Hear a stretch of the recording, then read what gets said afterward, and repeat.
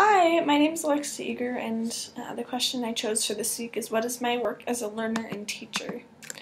Uh, the three personal questions I had were How can I constantly be learning more as a teacher? How can I constantly grow and learn to be a better teacher? And how can I motivate my students to be their best selves and to do their best work? Going back to the first question, how can I constantly be learning more as a teacher? Um, things I found are learning new, new skills constantly, um, whether that be new hobbies or new teaching styles, new habits. Um, all of these are great things that can help me to um, be learning more while I teach. Another thing is to be open minded, um, to not fall into the stereotypical um, closed minded elderly person who, um, who, who isn't open to new ideas. And then always to be self improving as well. Uh, to my second question, how can I constantly grow and learn to be a better teacher? A few of these things um, were to assess the teaching methods I have um, and to learn how to um, learn if that is working with my students or if it is not, um, and how I can improve those methods.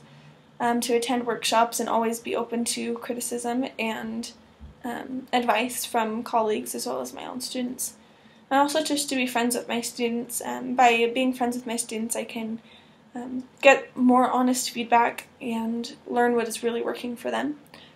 Uh, if I use my time wisely, I can also learn more, um, again, to be a better teacher.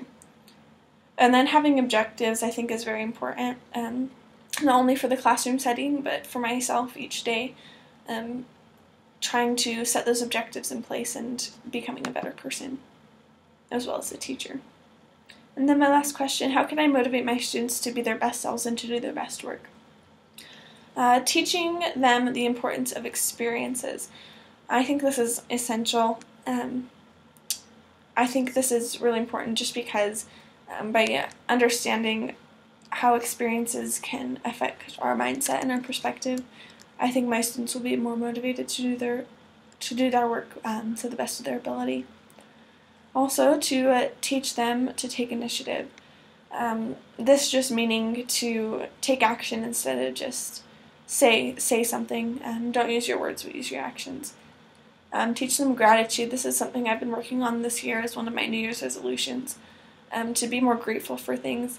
And I've seen a big, um, a big difference in my life and the motivation that I have each day to just do small tasks. And I think by teaching my students that will help them as well.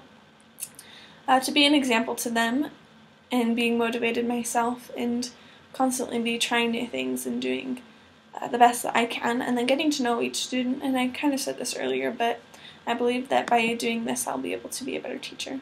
Thank you so much.